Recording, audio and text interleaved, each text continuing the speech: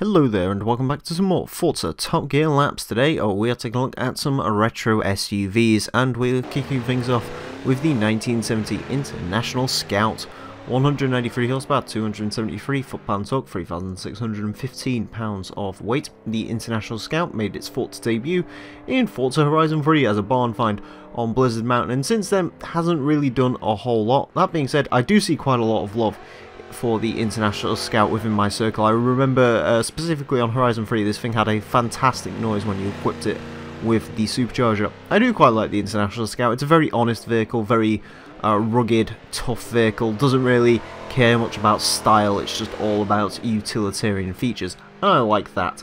Um, as far as it goes to drive, well, honestly, it is very much a case of as you'd expect. When it comes to a big old SUVs like this, again, it's from 1970. It's hardly going to be one of these SUVs that can do so much these days, you know, be a sports car, be utilitarian, be able to go off-road, etc, etc. This thing has one purpose, to go off-road and take some people with you and some luggage while you're doing it. It is, as you'd expect, it is a very, very soft car. Of course, as you'd expect, the suspension very sort of softy, off-roady, um, whatever. It does have a weird differential, this as well. You sort of go around a corner, it's almost like you're driving a front-wheel drive car. All it wants to do is just spin its power through some of the wheels instead of actually putting it to the ground in a semi sort of logical way. Um, the one advantage of this car though is it does have a sport 4-speed transmission, which is one more speed than I was expecting out of this thing. So that's something positive about the Scout, but as it goes to drive, it's just not a particularly great car to drive, and you wouldn't really expect it to be. Next up, we have the 1975 Ford Bronco, 205 horsepower, 300 foot-pound torque, 3,545 pounds of weight. This is the lightest car here today. A Ford Bronco is the lightest car here today. That's how you know you're in for a very big treat of an episode. Uh, yeah, the Ford Bronco, a car which, well, has gained much fanfare, and it's easy to see why. It's got an iconic look, people love it. Again, similar reasons to the Scout, it's sort of a rugged, go anywhere, didn't really care vehicle, sort of a small SUV as well, which helped because, it, yeah, it's just a small SUV. People like small SUVs. Um, as far as this one goes to drive, it is way, way nicer to drive than that Scout was. It is much more poised, uh, the brakes are a lot better, handling in general is a lot better, this one hasn't got a weird diff. Got a little bit of body roll, but not too much, you can sort of see through that corner. It's actually relatively flat for this sort of car, which you wouldn't really expect. Um, yeah, the Bronco is more impressive than the Scout.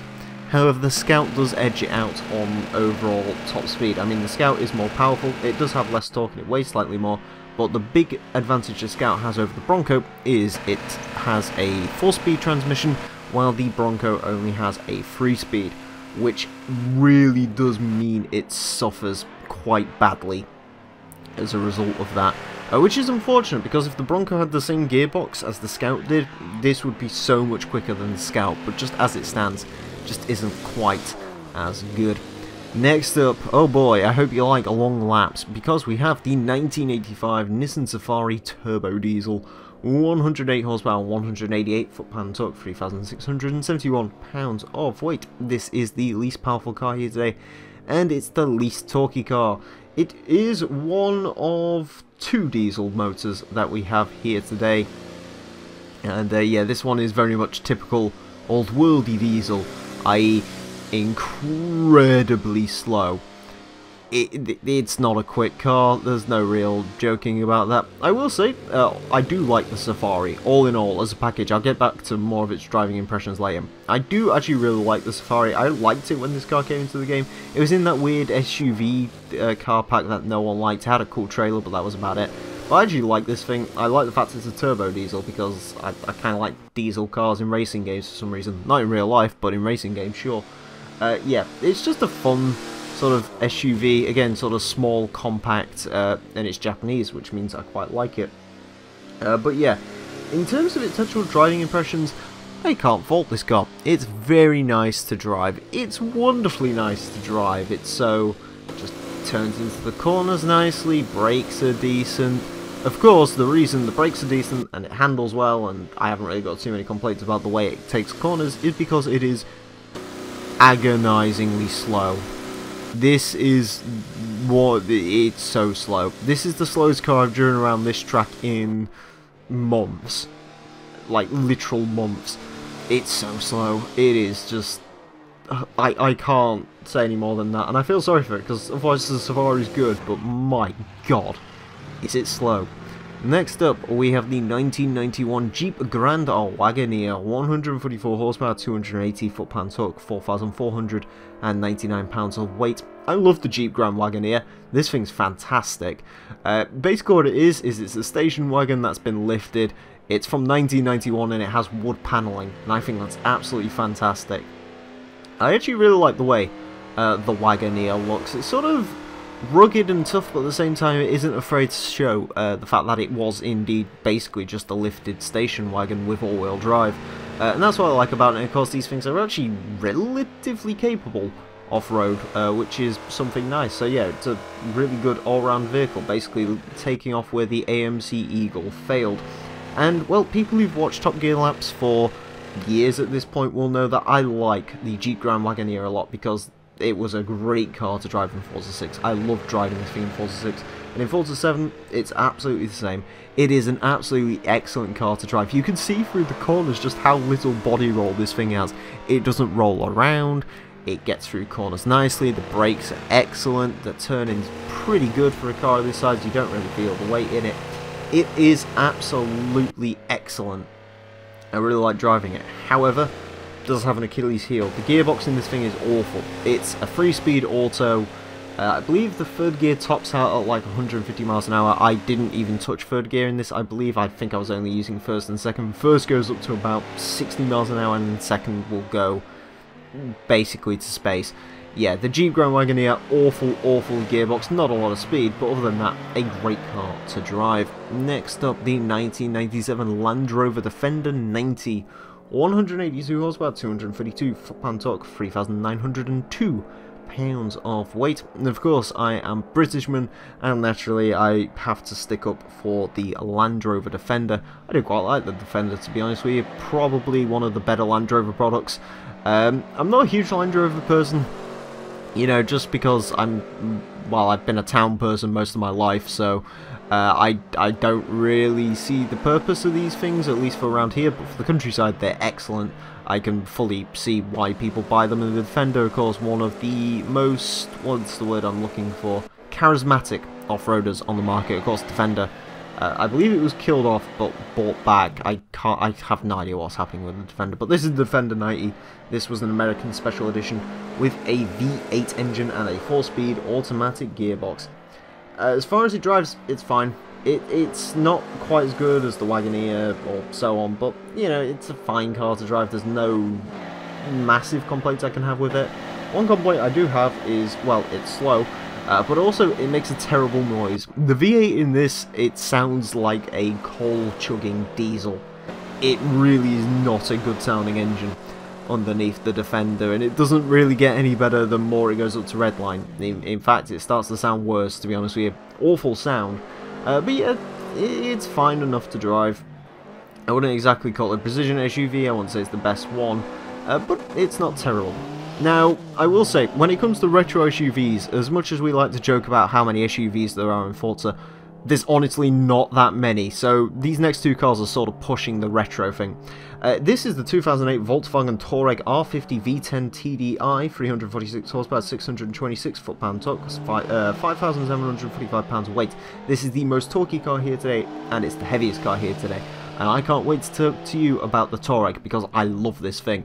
It has a V10 turbo diesel engine. That is fantastic. It makes a fantastic noise. This is by far and away the best sounding diesel I have ever heard. It literally just sounds like a V10 with more groaning in it. It's fantastic. I think it's mental. I love it when people just go mental with stuff, especially mental with diesel engines. It's the same with the V12, Audi Q7. Yeah, I, I love this Touareg. Um, as far as it goes to drive, it is hilariously quick. It, just that torque combined with the all-wheel drive, it is stupid quick accelerating. But that acceleration eventually means you have to get to a corner, and once you get to a, cable, uh, a corner, you suddenly realise the Touareg has one major issue. It is too heavy. There is a lot of weight in this car. It is Not a good handling car, the brakes aren't particularly good, but it is worth driving, purely so you can hear the V10 diesel note, and well, if you want to build something a bit silly for maybe a drag lobby, and look at the V10 uh, TDI Touareg, it is fascinating, fascinating, excellent mentalness. And finally today, the 2009 Mercedes-Benz ML63 AMG 503 horsepower, 464 foot-pounds torque, 5,093 pounds of weight. This is the most powerful car we have here today. Of course, this is the other end of the crazy uh, SUV spectrum. This one, unlike the V10 Touareg, is equipped with a 6.2 litre V8 petrol engine. Uh, which basically means it makes the same noise that a C63 would, which is incredible. Uh, unfortunately, the engine noise is probably the only good thing I can say about this car. Oh, and it's stupidly fast. It is very, very quick. However, it is awful to drive. Uh, I drove a G-Class a long, long time ago, and every time I drive the G-Class, I remark that it's hilariously just stupid to drive. It just should not drive the way it does. And the ML63 is no different to the way the G-Class drives. Maybe it's a little bit more refined, it's slightly more PI. Maybe it's got a little bit more handling, but honestly, behind the wheel, it doesn't feel like it. It still feels stupid. It wallows everywhere. It, the brakes are awful. It's just not a good car to drive. I have nothing nice to say about the way this thing is, other than the fact that it sounds great and it's quick. Uh, but if I wanted something that sounds great and is quick, I'd go for the Touareg. On to the leaderboard then, and the Mercedes-Benz ML63 AMG you just saw was the quickest car today. It goes into 96th place with 125.395.